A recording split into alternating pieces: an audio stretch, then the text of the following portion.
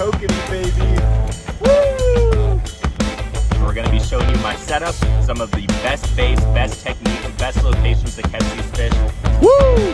Look at that jump.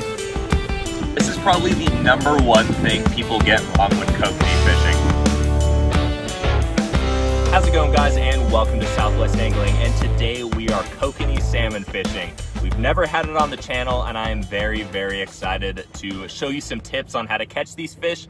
Now today we're fishing Navajo Lake, one of New Mexico's best lakes, and this lake is jam-packed with kokanee. There's also some trout swimming around here, so these trolling techniques will work for those, but today we are targeting kokanee. We're gonna be showing you my setup, some of the best baits, best techniques, best locations to catch these fish, and hopefully it turns out pretty well. So let's get on the water, get our lines out, and get to trolling.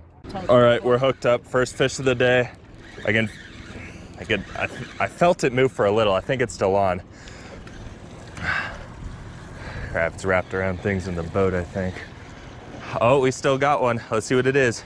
That's a kokanee, baby. Woo! That right there.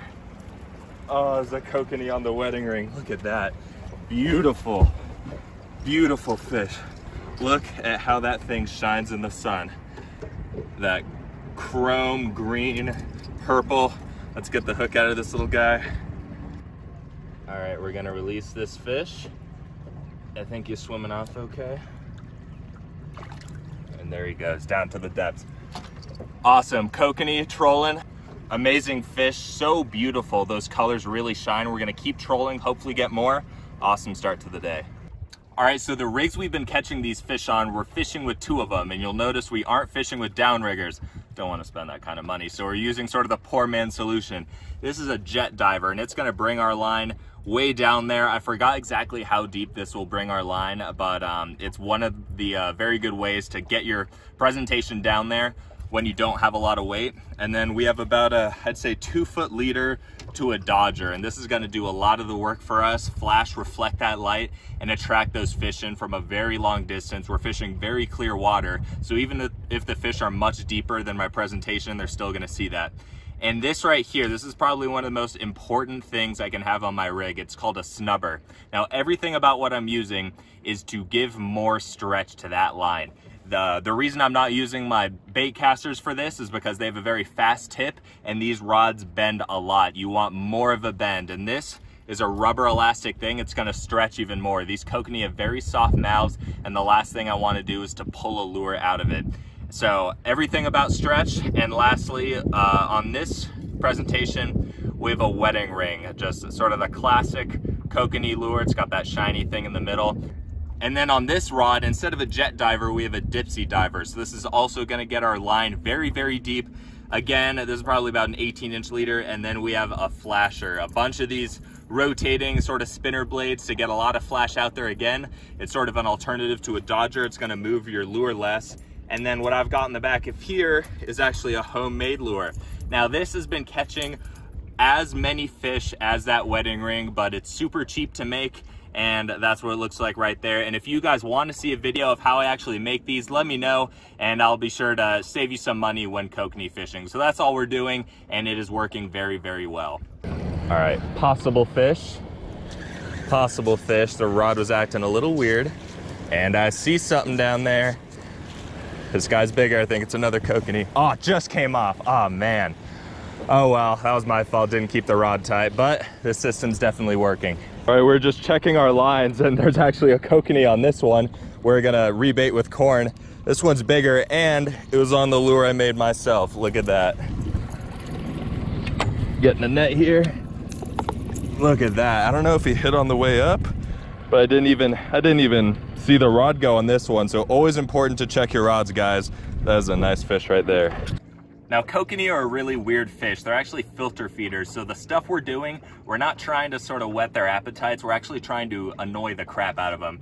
So everything we're doing, these bright, shiny colors, these crazy vibrations that these flashers and dodgers make, that's all to sort of annoy them. So imagine you're walking down the street and you see some guy dressed in a really just ugly, just terrible outfit and he's just dancing like a weirdo and he also smells like crap so you're want to punch him and that's exactly what these kokanee are doing they're attacking these lures And I will say maybe 50% of what's doing the job is this corn. Now it's not normal corn. I've actually added some stuff. So we're gonna go back in time to past Donnie and see how he made it.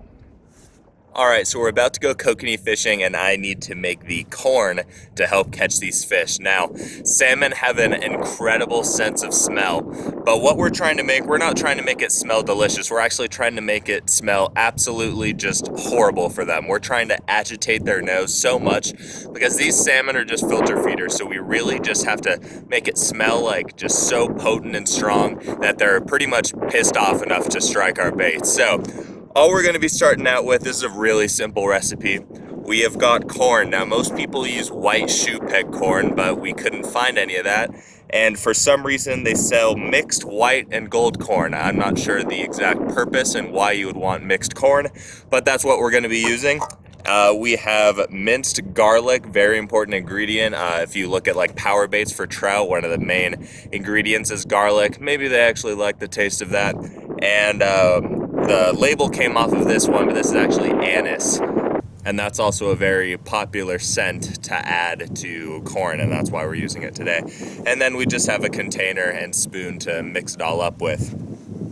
All right, the first step, I've just cut a little slit in this corn and we have to drain all the juice inside. We want that corn to absorb the new things we're putting in it and we don't really care too much about that very distinct corn scent. So all we're gonna do is cut a little slit and then pour it out the side. All right, now we just gotta add our corn to our container like that. All right, next I'm gonna add our garlic. Now all you need is just the tiniest little amount. We're just gonna put, just kidding, we're putting the whole thing in there. Nothing is too much for these fish. We want to really just agitate their nose and get them to strike. So just go all in, waste all your garlic. You don't need it for cooking. Uh, and then we're just gonna mix it all in together. All right, now that that's all messy and mixed up together, last thing we got to do is add our anise. And since we poured out all that corn juice, now instead of that, the corn will be absorbing this and give that bait a nice disappetizing smell for these fish.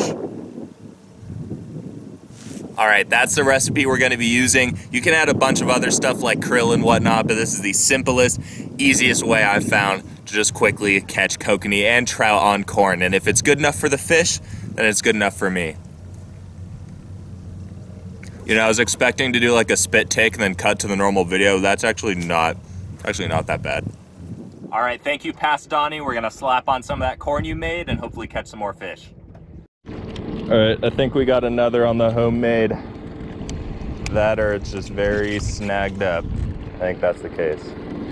Oh, no, we got one. Awesome. Woo, little jump. Oh, it came off. Oh, wow. Worth it, honestly. He was a tiny guy. Now, a huge part of kokanee fishing is location. You can be trolling the middle of the lake and spend your whole day wasting your gas and not get a single bite. So where we're fishing, it's all about current. As I said, kokanee eat plankton and they are pushed in by the current. So if there's wind, you're gonna wanna go to the shore that the wind is pushing into. It's gonna be blowing all that debris towards the kokanee. Or if you're fishing a reservoir like we are, find the river mouth, see where the current is moving from that river and pushing.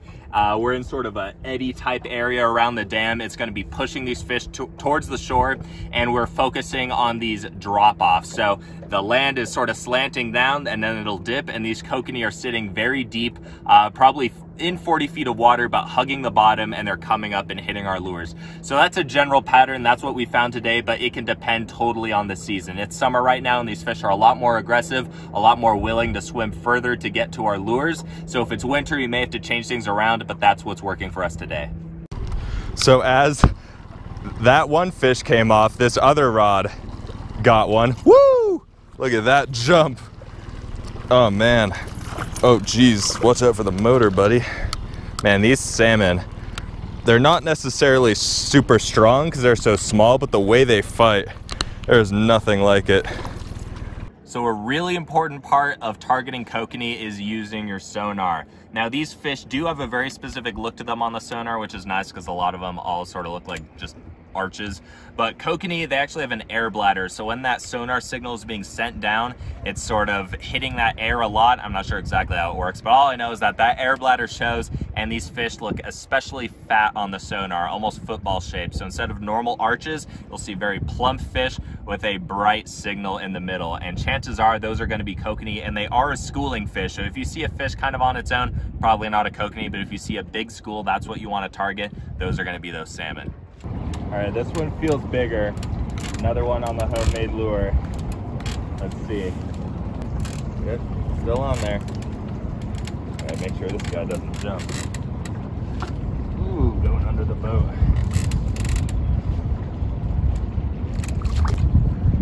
Woo! Wow, these guys fight like crazy. Oh my god. All right, enough messing around. Oh, came off right as he got in the net. Look at that. Gorgeous little piece of chrome. That was a pretty fun fight. All right, so this is really important. This is probably the number one thing people get wrong when kokanee fishing. You can be in the right place, right time, right gear and everything, but you can be going too fast and not get a single bite. You really have to go slow. You can be going, feel like it's a good speed for trolling and just still be way too fast. And so what I like to be around is about one and a half miles an hour. It's gonna seem like you're barely moving, but that is the prime, just average good speed for kokanee. Now, if it's colder out, you're gonna wanna even go slower than that. And if it's really hot, you may even wanna go faster. So you have to sort of test the waters, see what's working. And if your boat can't go that slow, say you don't have a trolling motor, you don't have that good of an engine, you can even just tie a few buckets off to the side of the boat. It'll catch water and slow you down. But the key is that you have to stay slow for these fish. Well, that was an incredible day of fishing. I have literally lost count of every salmon we've caught, and we didn't film half of them because they were just coming like crazy. So, amazing day, and I hope you all took a lot away from it and can target these kokanee on your own. So I'm happy to be your virtual guide today. And if you guys do want to see how I make these homemade lures, which catch as much as the store-bought ones, uh, be sure to let me know and I'll be sure to save you some money and show you guys how I make it. So thank you guys so much for watching. Let me know what other kinds of species you want to see me catch and I will do my very best to bring them to you. So thank you guys so much for watching. We'll catch you next time.